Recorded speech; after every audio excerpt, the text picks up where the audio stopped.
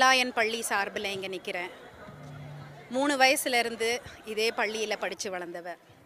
என் ரெண்டு பெண் குழந்தைங்க இங்கே தான் இப்போ படிக்கிறாங்க.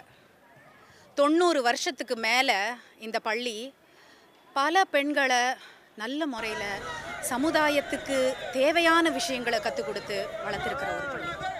இன்னும் கொஞ்ச காலத்தில் நாங்கள் நூறு வருஷத்தை கொண்டாட இருந்தோம். அப்பந்தான் இந்த பெரிய இடி எங்கள் தலையில் விழுந்தது.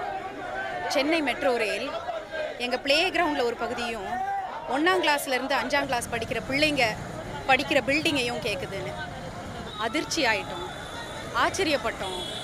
ரொம்ப கவலை ஆயிட்டோம்